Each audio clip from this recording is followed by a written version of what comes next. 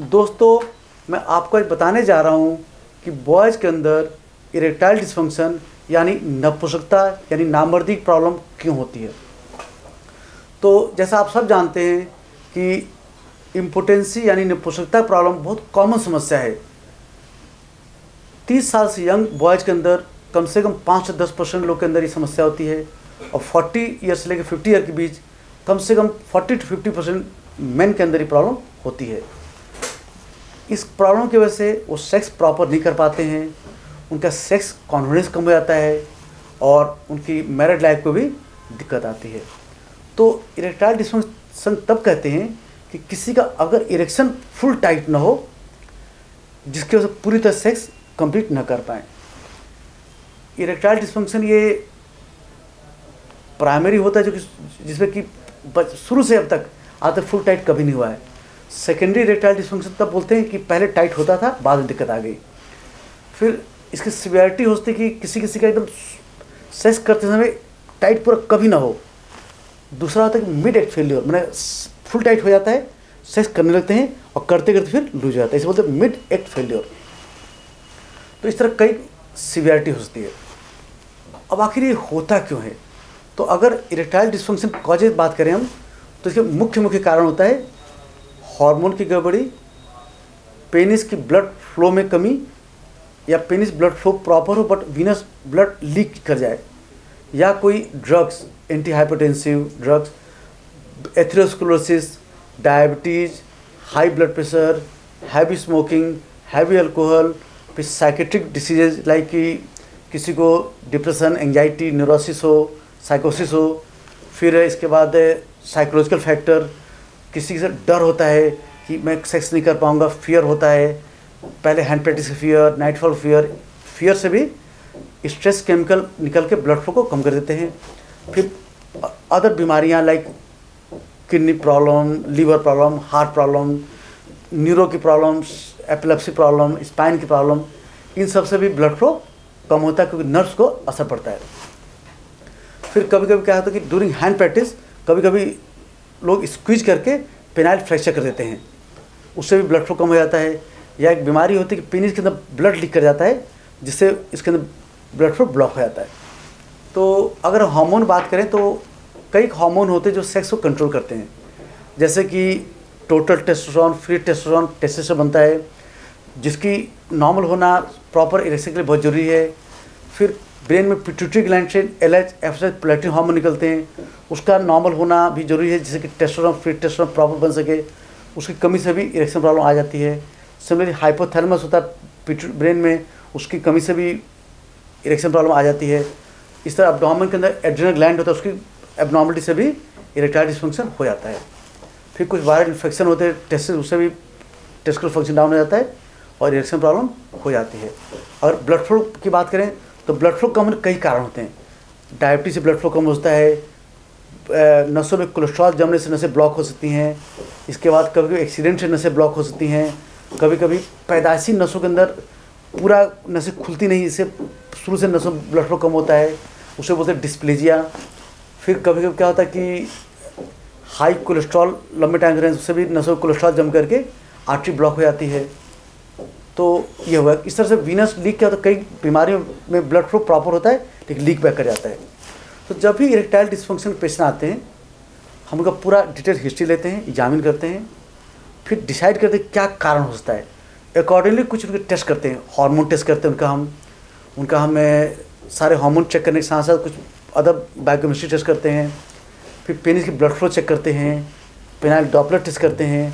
उनकी potency test करते हैं। पेनाइल पेनिस का नर्व टेस्टिंग करते हैं, फिर डिटेल सेक्स काउंसलिंग करते हैं। तो ये सारे टेस्ट करने के बाद उनकी डायग्नोसिस बनाते हैं कि भाई इनको हार्मोन कमी है, नर्व्स की कमी है, ब्लड फ्लो कमी है तो अकॉर्डिंग को ट्रीट करते हैं। हार्मोन कमी अक्सर पाँच मिनट ठीक हो जाती है।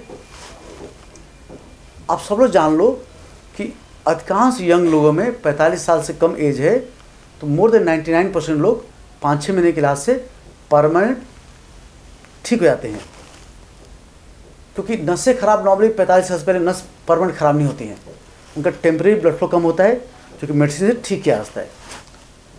इसकी जो दवा आती है, वो भी दवा के चालीस, पचास रोज़ की दवा आएगी जो बाहर खरीदनी होती है। टैबलेट्स होती हैं। पंद्रह बीस दिन आराम आता है और चार पाँच महीने में पूरी तरह ठीक हो सकते हैं। पर एक चीज़ और कहना चाहेंगे कि हम जितने कारण बताए हमने कि इरेक्टाइल डिस्फंक्शन के, चाहे किसी वजह से फेल हो, आप चाहे आप हार्मोन कमी से फेल हो, चाहे ब्लड फ्लो कमी की वजह से फेल हो एक बार फेल हो जाओ तो मन में डर आ जाता है। फियर आ जाता है कि मेरे अंदर कोई कमी है। जब फियर आ जाता है तो उसके जब भी आप लड़की के पास जाता लड़का तो उसके तीन सेकेंडरी फैक्टर आ जाते हैं। एक तो फियर ऑफ़ फेलियर दूसरा परफॉर्मेंस एंगजाइटी और थर्ड स्पेक्टेटरिंग एटीट्यूड मैंने सेक्स के नाम से आज रात सेक्स करना है, मैंने डर आ जाता है फियर आ जाता है, उसे फियर ऑफ़ फेलियर बोलते हैं। सेकेंड होता है कि जब भी सेक्स के लड़की जाता है लड़की के पास, लड़का तो पहले डर होता है कि पता नहीं होगा कि नहीं होगा। ऐसे वो गर्ल के पास जाकर भी हाथ के बॉडी पर लगाता है, लेकिन दिमाग पेनिस लगा रहता है कि टाइट हो रहा नहीं हो रहा। लड़की टच करता है, लेकिन इन्जॉय कम कर रहा। जब इन्जॉय कम करेगा तो उसको टाइट सिग्नल कम जाएँगे। जब वरी करता है तो ब्रेन से निकलता है stress chemical adrenaline and noradrenaline जो पेनिस के ब्लड फ्लो कम करते हैं। थर्ड होता है स्पेक्टेटरिंग एटीट्यूड तो जब भी लड़का, लड़की पर जाता है उसका दिमाग पूरी तरह टच वाइफ करता है गर्ल को करता है, पर दिमाग पेनिस लगा रहता है कि पेनिस टाइट हो रहा, नहीं हो रहा। तो रियल सेंस में गर्ल बॉडी की इन्जॉय कब कर रहा? वो पेनिस जासूसी कर रहा है कि पेनिस टाइट हो रहा या नहीं हो रहा। तो इन सब फेयर की वजह से लड़का वमेन को टच को लुक को इन्जॉय कम करता है और डरता रहता है। इससे फुल टाइट नहीं होता है। तो एक बार फेल किसी वजह हो जाओ, जब दोबारा जाते हो तो इन डर के बाद फिर से फेल हो जाते हो। और बार बार फेल होने के बाद मन में विश्वास बैठ जाता है कि मेरे कोई बहुत बड़ी कमी आ गई है, शायद मैं ठीक नहीं होऊँगा। जब काफ़ी दिन तक ठीक नहीं होता मरीज़ टेंशन डिप्रेशन आ जाता है, जिससे रात को टाइट होना बंद हो जाता है। और इवन डिप्रेशन एंजाइटी होने की वजह से मरीज़ का टेस्टोस्टेरोन प्रोडक्शन भी कम हो जाता है। तो जब टेस्टोस्टेरोन डाउन हो जाता है तो उसका सेक्स डिज़ायर भी कम हो जाता है। तो अब डिप्रेशन एंजाइटी की वजह से रात टाइट होना बंद हो गया। टेस्टोस्टेरोन कम होने से और इरेक्शन कम हो जाता है और डिज़ायर कम हो जाता है। तो मरीज़ सोच लेता है कि अब शायद मैं ठीक नहीं हो पाऊँगा। वो दो चार नीम हकीमों को डॉक्टर दिखाता है, वो दवा लिखते हैं उससे थोड़ा टेम्प्रेरी काम करता है, जहाँ छोड़ते भी काम नहीं करता है तो उसके मन में बैठ जाता है कि शायद अब पूरी तरह ठीक नहीं हो पाऊँगा। तो अब सब जान लो कि सबसे पहले परमानेंट ठीक करना है तो आपको कारण खोजना पड़ेगा। वो टेस्ट करके और फिर उसको परमानेंट आप ठीक कर सकते हैं। तो हम क्या करते हैं कि दवा देने के बाद, दवा से मेरी दो तीन पूरा सेक्स अच्छा कराते हैं। उसको उसको दवा देते हैं, जो बेसिक कारण दवा देते हैं साथ में पेनिस ब्लड फ्लो बढ़ाने दवा लेते हैं उससे पेनिस फुल टाइट होता है, तीन चार मरीज़ अच्छा सेक्स कर लेता है, फिर उसको कुछ सेक्स थेरेपी एक्सरसाइज बताते हैं, जो घर पे वो अपने गर्लफ्रेंड या वाइफ के साथ करता है दो तीन सेशन करने के बाद उसके मन से डर खत्म हो जाता है, और फिर वो जड़ से ठीक हो जाता है। तो बिना सेक्स थेरेपी के दवा खाएगा मरीज़ फुल टाइट होगा, जहाँ दवा छोड़ेगा, फिर ज़ीरो हो जाएगा, क्योंकि फिर फियर आ जाएगा। तो परमानेंट क्योर करने के लिए सेक्स थेरेपी सेशन लेना बहुत ज़रूरी है। तो आप सब जान लो कि अगर आप इरेक्टाइल डिस्फंक्शन से सफ़र कर रहे हो तो अपनी डायग्नोसिस करा के टेस्ट करा के प्रॉपर दवा लें और अधिकांश आप लोग चार से पाँच महीने में ठीक हो सकते हैं। फिर भी कोई डाउट हो तो आप मुझे कॉन्टैक्ट करें। हमारा मोबाइल नंबर है nine eight nine nine one eight zero three nine zero हमारा ईमेल आईडी है info at the rate of sex and hormone centre dot com और वेबसाइट है W W W dot sex and hormone centre dot com